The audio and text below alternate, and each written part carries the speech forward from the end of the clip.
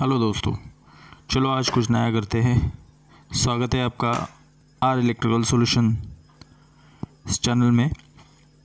ये 150 fifty watt Bajaj का metal halide lamp है, लाइट सेट है। तो इसे कैसे रिपेयर किया जाता है ये आज सीखेंगे हम। चलिए खोलना शुरू कर देते हैं। यहाँ से दोस्तों ये स्प्रिंग टेंशन रहता है इसको।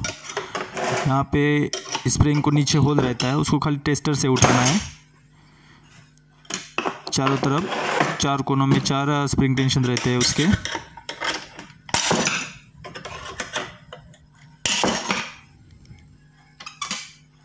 कांच को उठा के दोस्तों साइड में रख देते हैं। संभल के रखना है, कहीं कांच टूट ना जाए दोस्तों। सेफ्टी के साथ और सुरक्षितता के साथ। ये दोस्तों इग्नेटर है। Seventy watt to four hundred watt किसी को भी चल सकता है ये, किसी भी लाइट को। Seventy watt to four hundred watt का। और ये दोस्तों ये कैपेसिटर है। Sixteen U F two fifty volt या टू थर्टी वोल्ट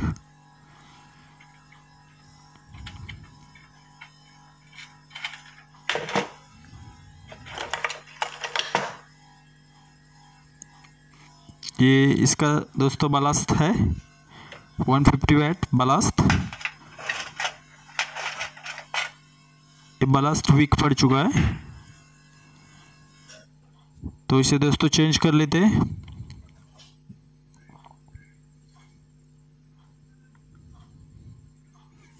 ये आप देख रहे हैं दोस्तों। ये 240 वोल्ट है। ये 220 वोल्ट और एक कॉमन रहता है उसमें।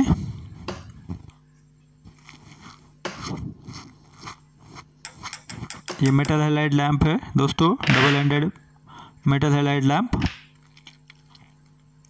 150 watt ये इसके वायर्स है।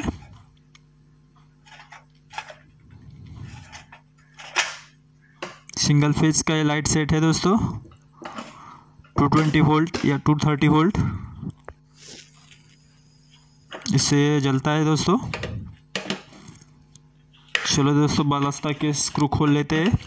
वीडियो काफ़ी हिल रहा है दोस्तों। एक हाथ से मैंने कैमरा पकड़ा है और एक हाथ से मैं काम कर रहा हूँ। आपको वीडियो बना के दिखा रहा हूँ।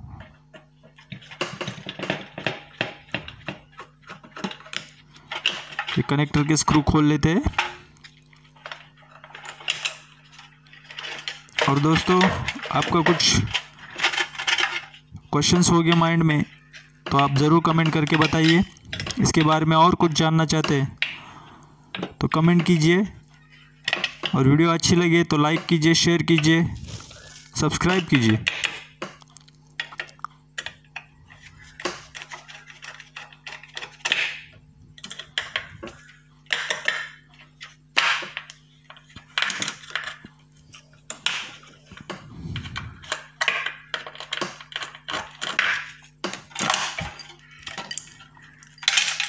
ये बलास्त निकाल दिया दोस्तों हमने। ये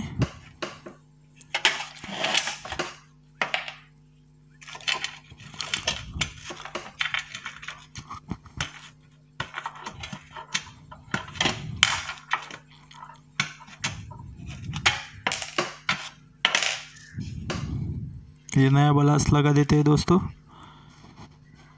देखते हैं। इस सेम 150 वैट बलस्त है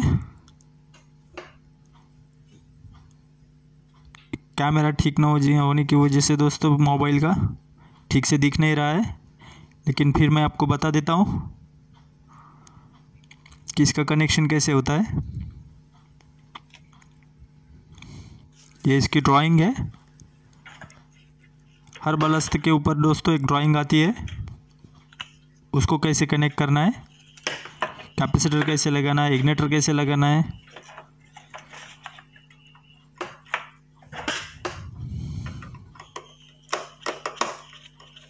ये हमने पावर की वायर लगा दी दोस्तों। टू थर्टी वोल्ट उसके साथ में इग्नेटर की एक रेड वायर कॉमन है, जहाँ पे हम पावर देते हैं टू फोर्टी वोल्ट जहाँ पे सिंबल रहता है टू फोर्टी वोल्ट का। वहाँ पे हम एक इग्नेटर की रेड वायर और जो पावर की वायर है, उसे कनेक्ट कर देते हैं। और ये येलो वायर है, उसे 220 पे लगाना है। 220 वोल्ट पे।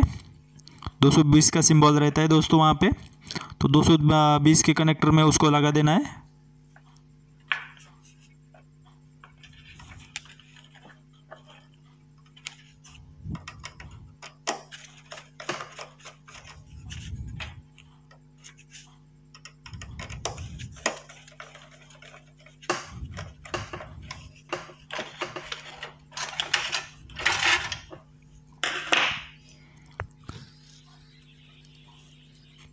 और जो बचा है वायर, वो कॉमन को जाता है दोस्तों। और कॉमन से निकल के वो लैम्प के लिए जाता है एक तरफ़ और दूसरी तरफ़ से न्यूट्रल जाता है। दोस्तों, ये देखिए चेक चेक कर रहे हैं। ठीक चल रहा है। हमने बलस्ता चेंज करने के बाद लैम्प ठीक से चल रहा था दोस्तों। लाइक कीजिए शेयर कीजिए और सब्सक्राइब कीजिए।